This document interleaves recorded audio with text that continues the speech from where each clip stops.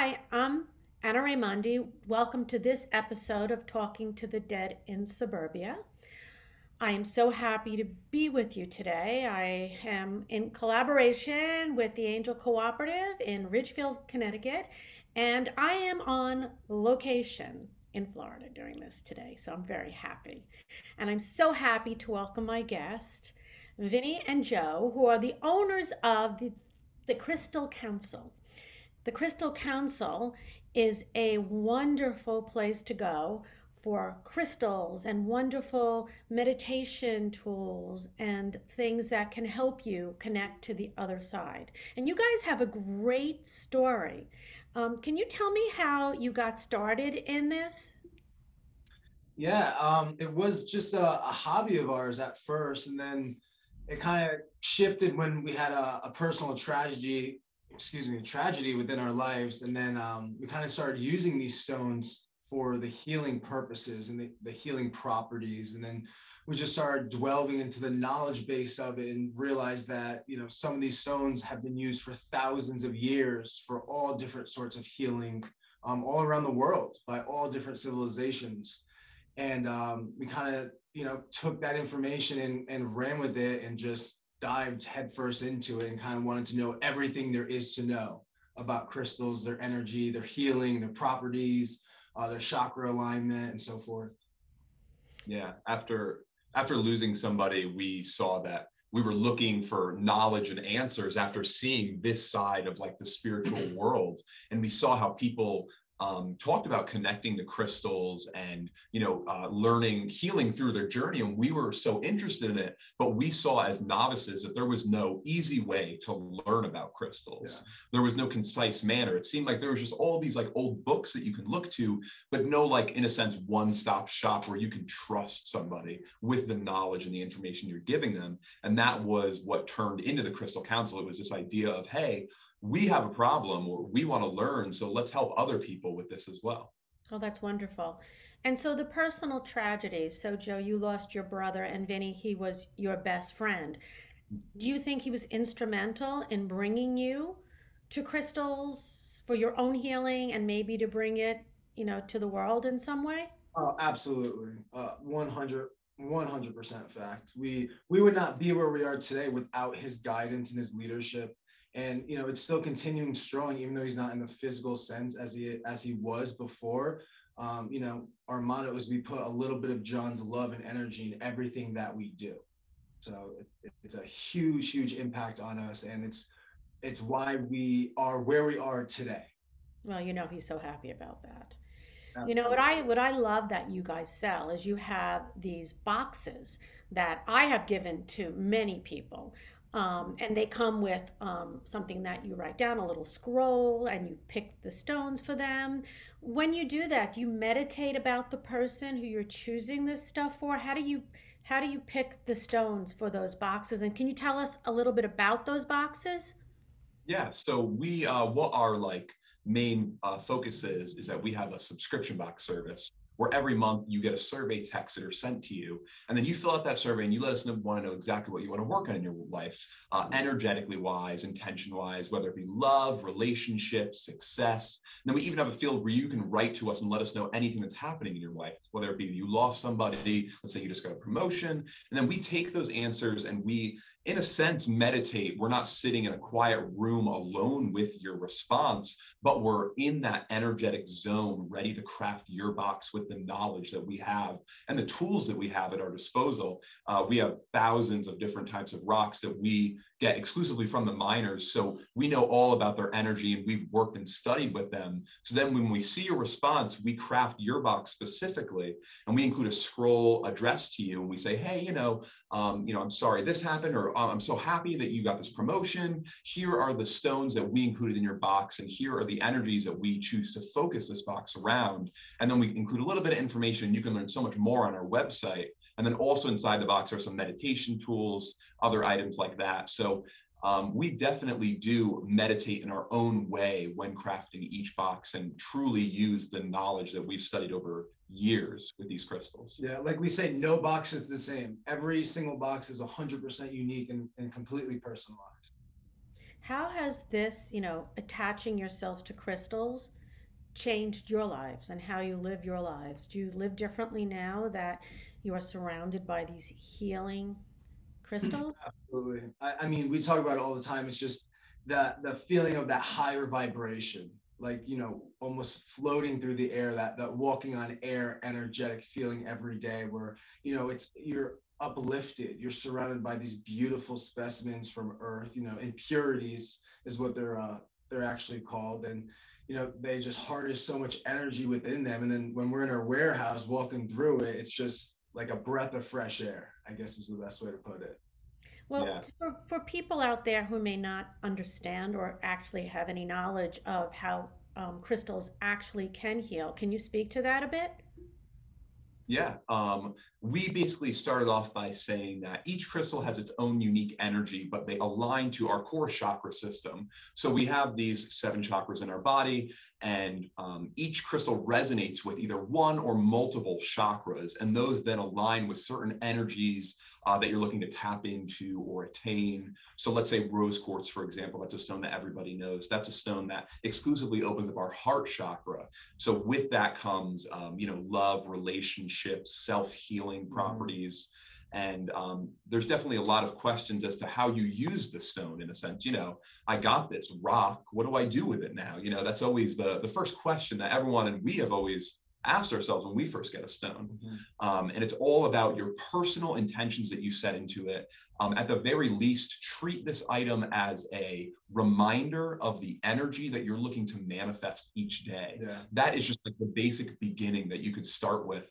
And then you can continue on from there and you can sit alone in a room and meditate each day with it even more focusing on that energy and you know calling it into the universe. If it's a physical healing stone you could place it on that physical part of the body that may be afflicted. Mm-hmm. um, if it's a cleansing stone like selenite sorry about that you can actually um, you can place it on your body to cleanse certain chakra areas within you as well. Yeah i really like meditating with um, quartz you know mm-hmm. clear quartz or selenite you yeah. know um, i don't know what you call it but the ones that have the points at both ends so the energy oh, comes in and goes out. What is that called? The terminations? Yes. Uh, that's that's that's those are really good to meditate with. Yeah. um, i know my office has lots of crystals i'm not i'm not the crystal guru but it has a lot of balancing things in my office stones in my office crystals in my office that people always say they feel when mm-hmm. they walk in what about the name Crystal Council? How did you come up with that name? It's a good question. Um, we knew how important the name was, and after hours and hours of trying to figure out what it was, we kind of um, referred to us as started referring to us as you know like these uh, counselor beings. So uh, we always talked about like the Roman Empire had like the council that would like make the decisions and you know what where it would go and how it would go about um, and kind of just like viewed it as let's have this influential role on these stones and try and pass it along to as many people who would listen to us as possible. Yeah, in a sense, we feel like we are your spiritual counselors. It's like, in a sense, another word for a guide. We are counseling you on the information that we ourselves have, you know, delved into and learned over all these years. Yeah. Yeah, that's pretty wonderful. I love the name. You know, it's like anything with counsel you know the divinity and the heavens and you know and learning you know because you guys are teachers you know you're not only healers you know you're the facilitators of healing but mm. you're also educating people.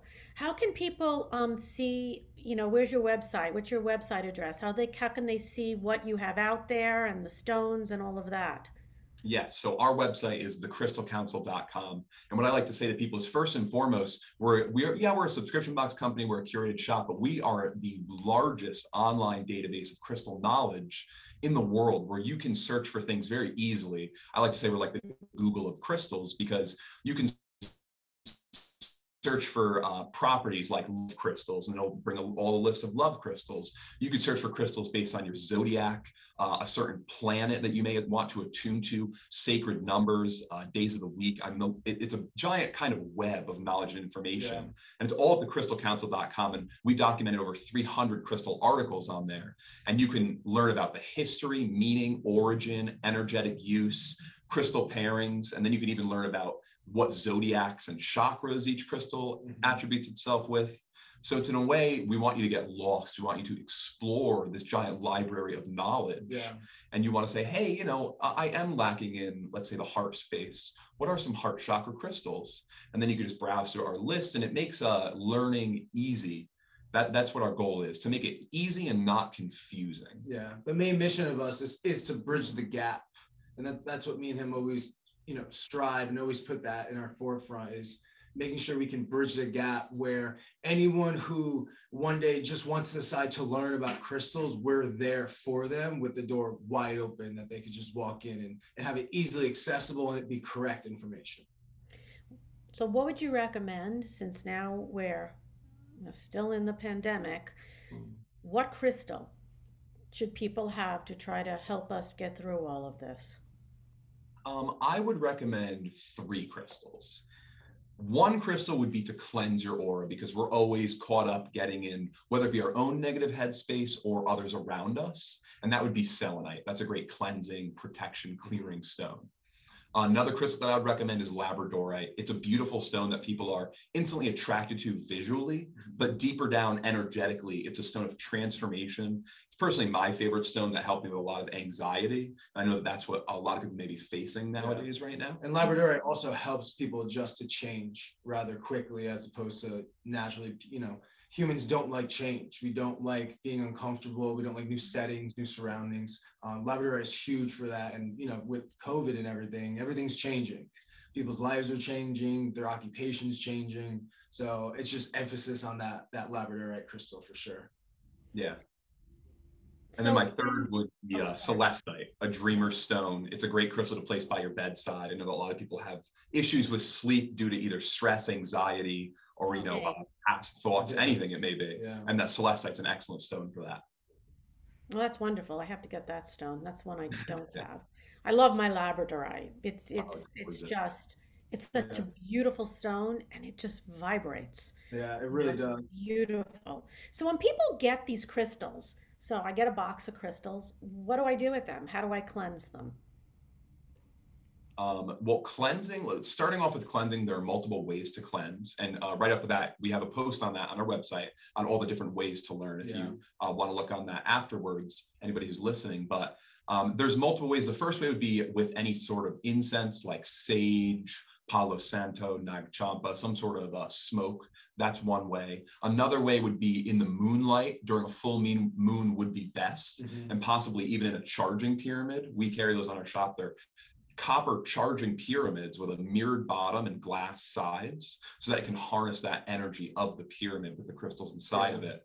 Another way would be with a water bath, but you do have to be careful because certain stones do dissolve in water. So you kind of have to know which Yeah. stones are Just be cautious about that one. Yeah. And uh, another way would be during the in the sunlight as well. Yeah, I love to cleanse my stones in the moonlight.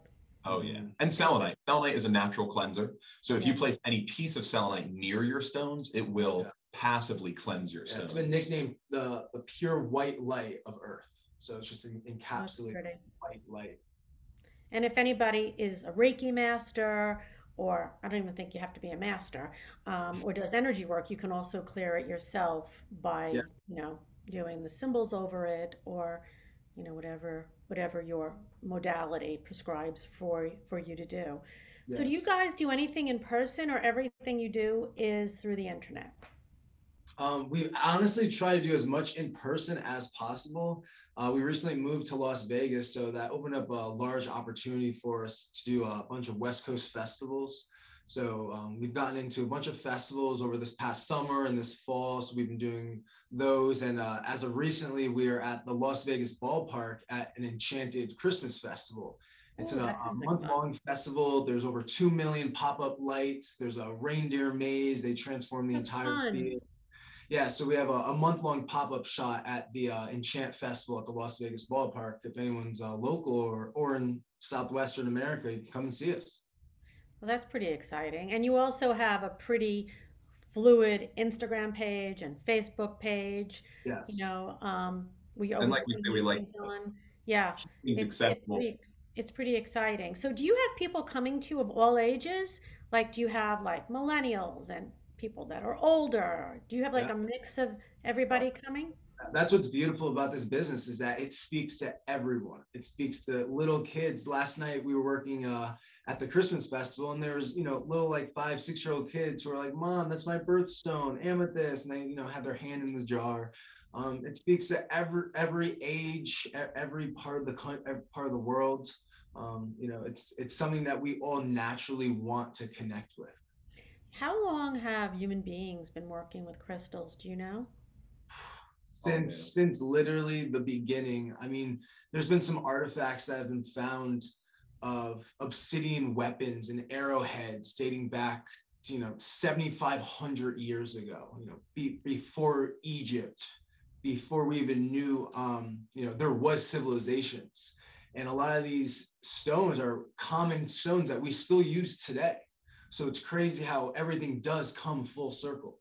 Yeah, little do we know, like a lot of our um, religious, uh, let's say, groups would use crystals. Like in Catholicism, a lot of scriptures were written in certain tablets of that stone. Um, you know, in uh, Muhammad, the Prophet Muhammad wore a pinky ring specifically of carnelian due to its power. So there were very specific things throughout history, and we like buy old ancient books and texts and read about them to really see the influence in that you know, energetically, these societies have been using these crystals. We like to say like they're energetic building blocks for our society to progress as like an entire being in a Yeah, sense. to ascend, you know, to, to Yeah, ra- raise well, our ha- well- vibration. Let's talk about that. How do they help us ascend? Yeah, I'm, I mean, depending on the the certain stones that you use, simply placing a stone on your third eye will help just activate it and open it up. You'll be able to see. Um, we like to say you'll be able to see things throughout the day you may not normally pay attention to as much. Something that you might just like walk by and not see the significant meaning because everything that we're doing has meaning. Everything around us means something to us in that moment. Um, so simply placing like a, a third eye activation stone on your third eye, a crown activation stone uh, on the top of your head while you're meditating, uh, crisscross. Um, just there's small, simple ways that you can just open up a little bit more of yourself to receive just a, a bit more information that can help you grow, can help you ascend, can help you raise your own vibration. So, what stone would you put on your third eye? Uh, one of my favorite stones for the third eye is iolite. Uh, it's a very blue, purplish stone. It's a um, ancient tablets and scriptures say it activates the violet rays. The violet rays are these beautiful healing rays that helps rejuvenate your physical and spiritual body. Uh, really helps open up and channel and and help you ascend and understand what is in like these higher dimensions and these higher frequencies. And these higher energies that you can work with and then eventually learn to ground them and use them throughout each day. You know, I think it's just interesting that the ancient civilizations of the Pleiadians, um, you know, and the Lemurians, I mean, they were all using crystals. Oh You yeah, know, they were tapping into it more than we do By nowadays. far. It's like we regressed in that Yes. sense. We totally regress. Like, Yeah. what happened? Like, how did we start here and then Mhm. come down to here? It's pretty Yeah. wild, you know. And now you have to, like, now you guys are out there teaching people that this stuff works when, Yeah. you know, c- civilizations from a very long time ago um, have used these to heal at a very high level than I think that we can even imagine.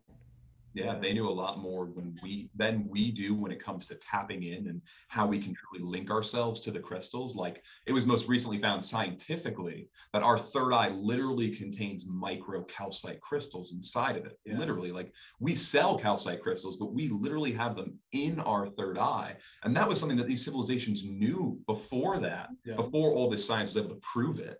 And they were able to truly tap into these energies. Yeah. Yeah, it's pretty wild, right? Well, yeah. I'm very excited that you guys have started this.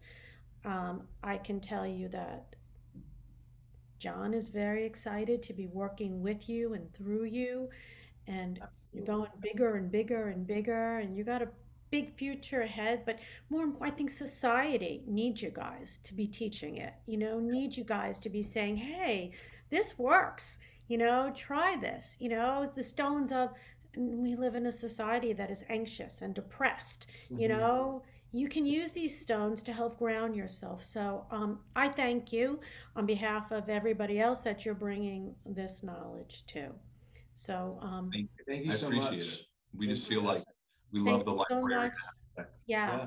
Thank you so much for coming on today. And I thank all of you out there for, for listening in. And I hope you will check out their website, you know, and get some stones, you know, that, that feel good for you, or get a subscription box and have them choose the stones for you. Um, it's a great Christmas present or birthday present.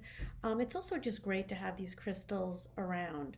Um, please check out you know, my website at annaraimondi.com. You can always listen to these videos on our SoundCloud or on my YouTube channel. Um, thank you very much again for being here with me today. Thank you, Anna, so you. much. It was very nice seeing you. Absolutely. It's great to see you.